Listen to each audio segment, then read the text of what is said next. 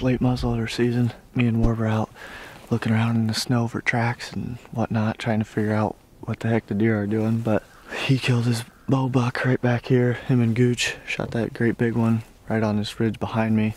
And we drove around all the parking lots that lead into this spot before we came in and there hasn't been anybody in here since the snow. It snowed like five or six days ago. We haven't seen hardly any deer tracks though either. So we're working our way up the edge of the lake and looking for sign leading up into one of these coves where we think the deer and hopefully a big buck's hanging out at.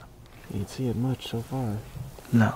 Other than coyotes and squirrels and the like.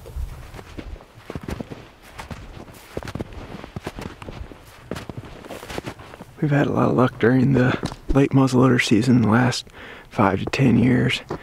Seems like this is the one gun season that doesn't get very much pressure at all here in Iowa. You guys have seen some of our shotgun season hunts and how many people can be out here on the public land during those, but this late muzzleloader season does not get a lot of attention. Me and Ted haven't seen even any tracks in the snow from where hunters have been in here over the weekend. If you're considering hunting with a gun in Iowa, this is a very, very good option on public or private land for that matter. We got snow right now, so we're able to speed scout and figure out what these deer are doing. Running through this area pretty quick today, and we have not seen any fresh tracks in the snow. Like Ted said, the snow's five, six days old.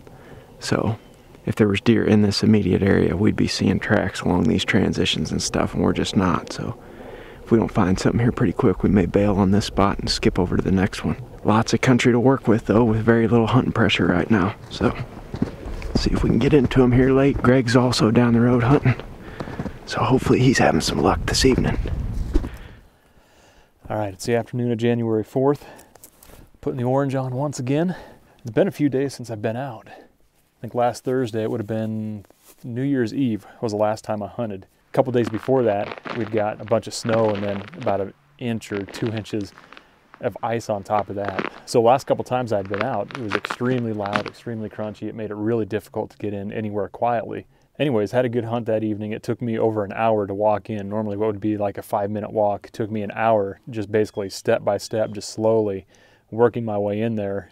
So anyway, saw a bunch of deer that evening. There was two bucks that I would have shot and the closest one finally got to where I could get a good look at him.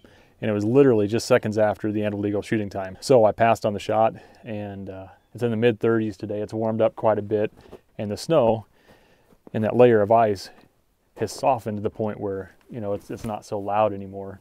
So this evening I'm heading into a spot that should look familiar. This is uh, the location where Aaron shot his buck back in the shotgun season, and here we are a few weeks later during the late muzzleloader season, and with this snow on the ground now, I can see that nobody's been back in here, at least the best I can tell. So that's that's good to know that hopefully there's going to be you know some undisturbed deer back in here.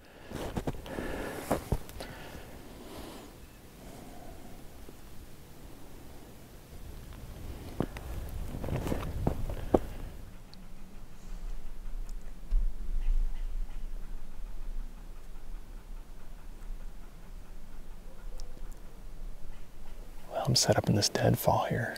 So when Aaron and I hunted here during the shotgun season, we started out about 125 yards farther down that way. That's where we saw the buck cross the ice. But now I'm set up a little bit farther down. I'm basically right in the middle to where I can cover the maximum amount of this bottom here. A couple, well, three years ago, when the hunting was really good in here, this this bottom, and primarily the west end of it, all those deer were coming out and just congregating kind of in one area. And they were just hammering that duck potato, which was back in that, that corner right there. It was as I was coming down in here and, and glassing down into this bottom, you can see, I mean, there's a fair amount of tracks, but not a lot, and they're not concentrated. They're just kind of coming out of, you know, all this bedding cover. Just more transitional movement, it seems, as opposed to concentrated feeding like they were a few years back. So there's still deer obviously down in here but not to the extent as what I was hoping for. And I almost just bailed on this spot and thought about going somewhere else. I still very well could have a good hunt here tonight. It's just not what I was hoping to see or expected to see. I do have an antlerless tag for this county, so if I get a doe out here in easy gun range, might have to drop the hammer, put a little more meat in the freezer before the end of the season.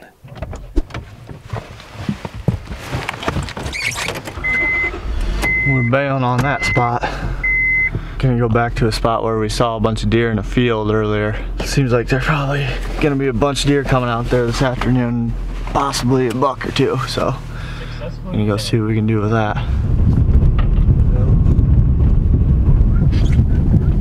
Nobody down here in some time.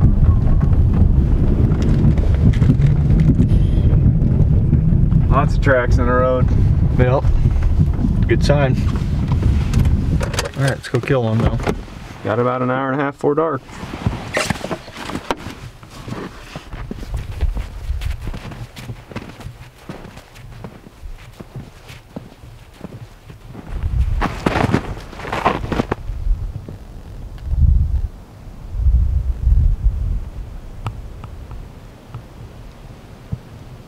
I wonder what that, the wind coming like that, if one would circle out the outside of that cedar thicket.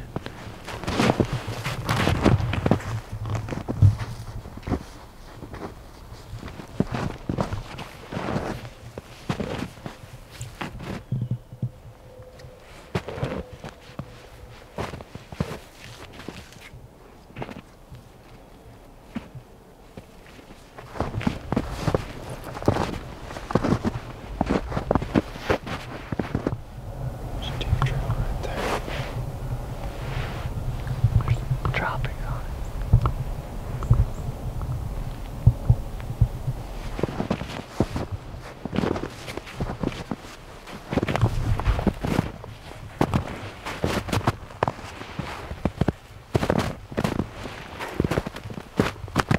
We just slipped down in this cove.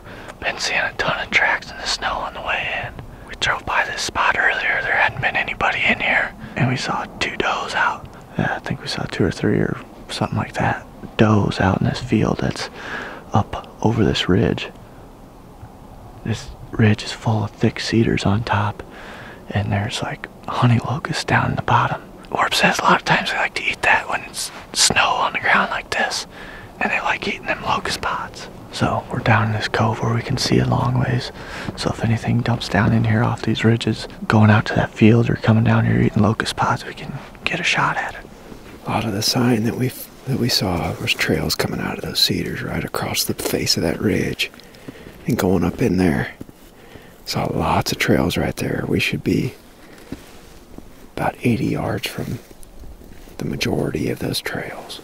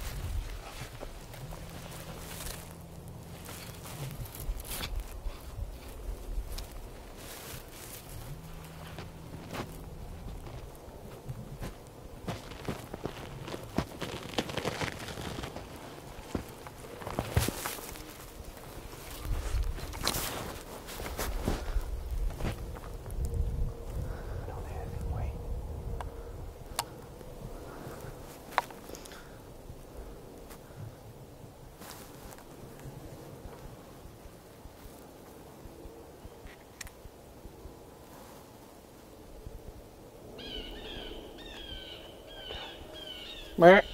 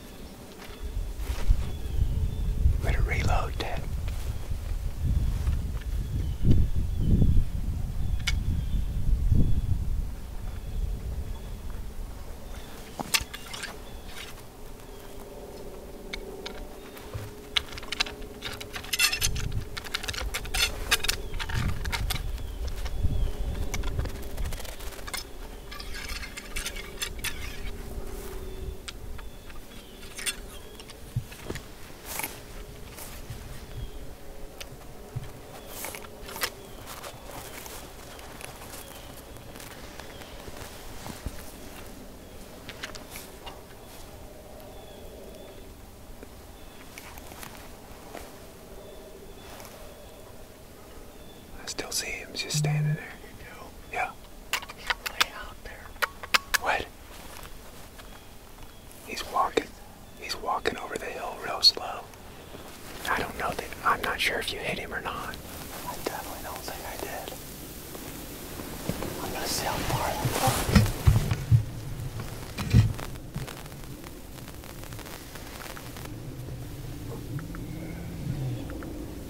I figured he was on her, so I put it on him. Put it right on him. That's what I. You pulled the trigger pretty quick I know. when you stopped. But if you were on him good, I don't. Were you on him good? felt like I was. But he did. I mean, I'm pretty sure I didn't hit him the way he acted. But I mean, he walked. He walked right down the trail that we we crossed over. all right, just took a shot at that buck. Probably been 30 minutes, hadn't it? Yeah, it's been 30 minutes. He was coming along that other ridge. Warb spotted him, so I got spun around and just walking along real calm and got a shot at him. I had one pretty good opening right there where I shot at him. I had my crosshairs in there and I could see him walking through the scope into the, my opening there. So I just waited and stopped him and obviously I shot really quick. But I mean, I felt like I was on him when I shot. When he, the way he acted though, it didn't look good. So we're gonna go up there, check for blood, and see what we got, or if anything. It was right, right through there. I think. Let's be real quiet though, because if he's hitting the liver or something, he probably went just right over the hill. Now, Just go up to the spot of the shot. Real quiet.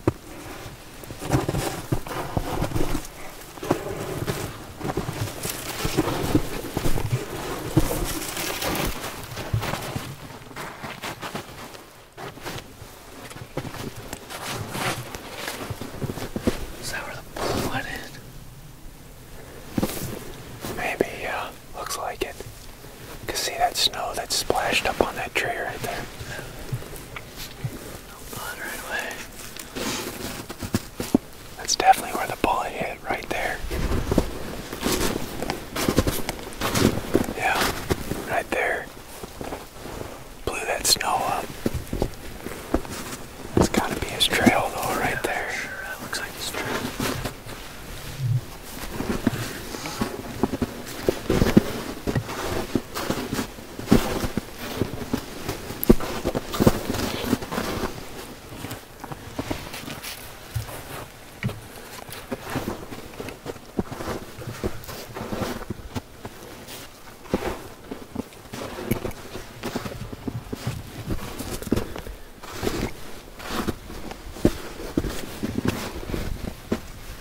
Sure looks like you missed him.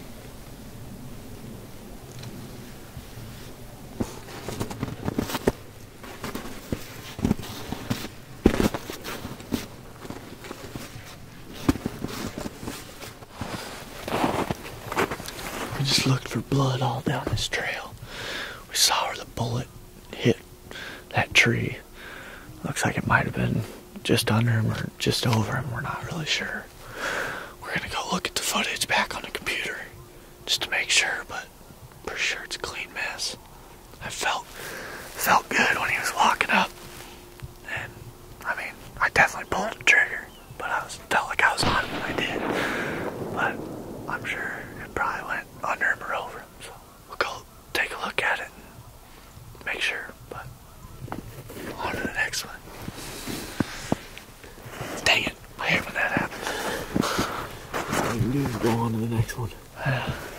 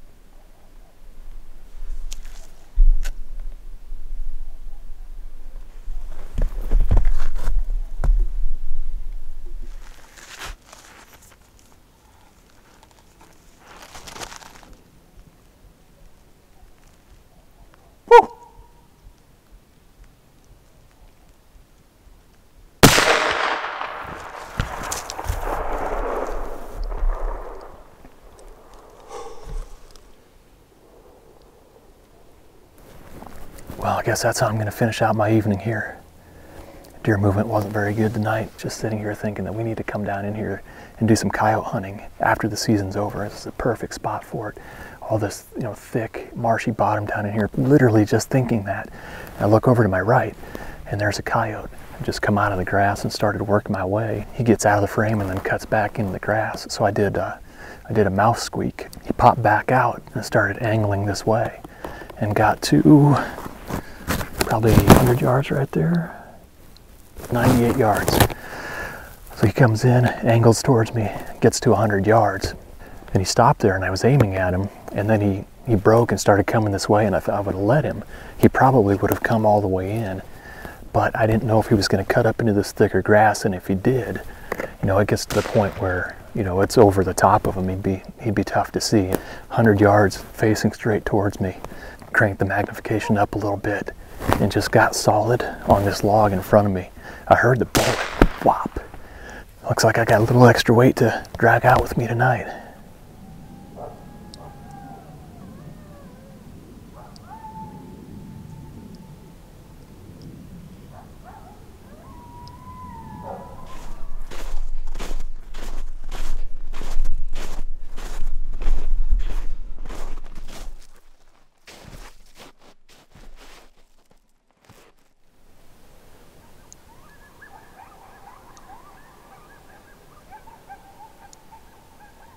Well, here it is.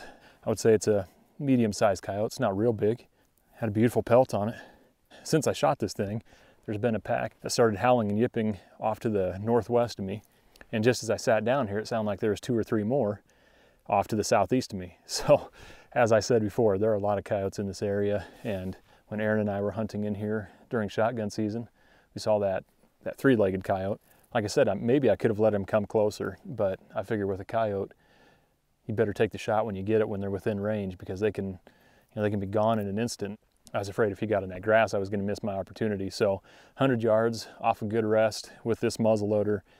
Um, you know, it's, it's a uh, Thompson Center Omega, and I've got a, a Vortex 2.5 by 10 uh, scope on there. It's a really, really nice scope. Shooting 100 grains of uh, triple seven pellets, so 250 grain pellets, and then a 250 grain Barnes expander. I mean, it puts a hurting on them. So it made for an exciting end to an otherwise pretty uneventful evening.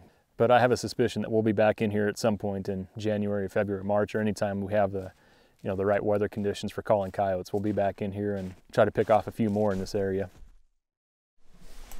Ready to see this giant? I guess.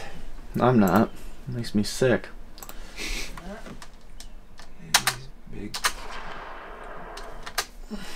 See the snow kick up right behind him. You can see the bullet right there. Mm.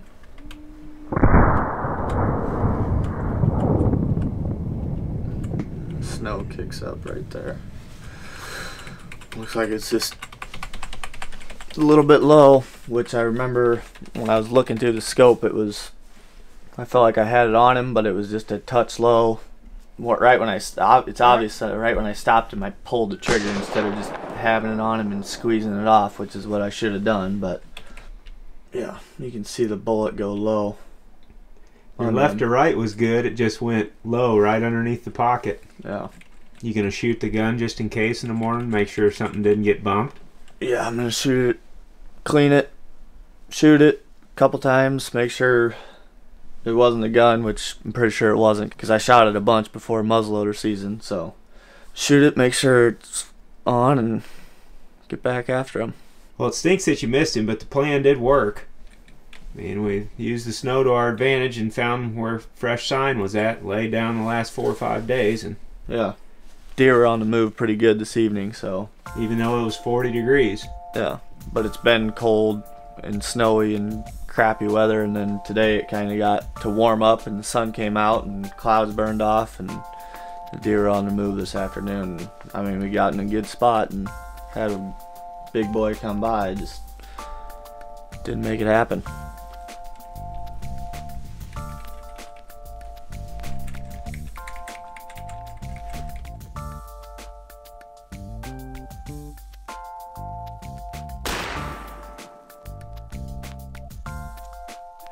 Just driving 12, in. what, 12 hours ago, I drove by here, saw that deer cross the road in front of me. Didn't you almost hit him with your truck? Yeah, like two or three seconds away. Like had the timing been a little bit different, I would he'd have been in my grill.